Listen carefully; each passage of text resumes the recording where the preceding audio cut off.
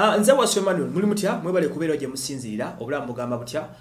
Ah, ebiseera bisinga bagamba si kibi okuba n'essuubi tulina okubeera ne hopes omukyala babi itungo oba gomuyita babi kyagulanyi ah, abangi gomuyita first lady wa ghetto nga very soon waliwo hopes ez'okuba nga ayinza okufuuka first lady w'eggwanga okusinziira ku bakkiririza mu famire eyo n'abamukkiririzaamu omukyala babi itungo ye mukyala wa his excellence bobi wine omwami yamusuubiza nti nga tebannava mu nsi eno alimufuulako first, first lady w'eggwanga uganda.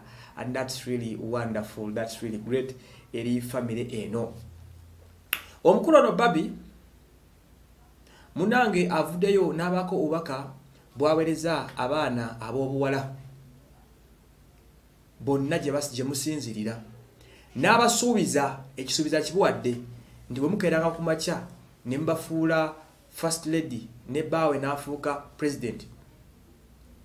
Obulamu bw'omwana omuwala babi kyagulanyi asuubiza okubufuula ekyenjawulo okusinziira ku posti gye yabakoledde n'obubaka bwe yaweereza abantu b'eggwanga mwenna naddala abaana ab'obuwala. Bw'ati bwe yagambye nsaba owulizawo bulungi nnyo wano.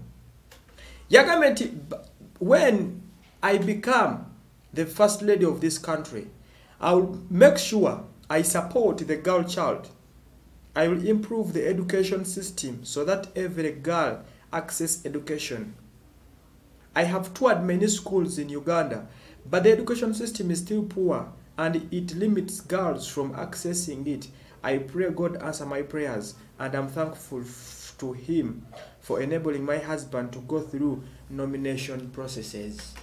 Omukulu agambye nti bwe ndifuuka fasilidi w'eggwanga lino nsuubiza abaana ab'obuwala. Nti ngenda kubasapootinga abaana ab'obuwala mufune ebyokusoma ebirungi mu ggwanga lino. Ntambudde amawanga ntambudde amasomero mangi mu ggwanga. Naye abaana ab'obuwala tebafiiriddwako bulungi nnyo.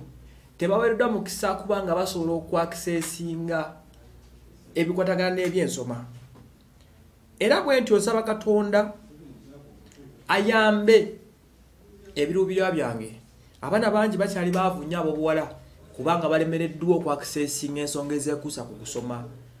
Sisitimu yaffe eriwo ey'okusoma eremesa abaana bangi ab'obuwala okubako kye beekolera mu nsi eno. Babi agambye yeebaza nnyo ne katonda olw'okusobozesa baawe okuyita mu nomination pro- processes zonna ezibaddewo.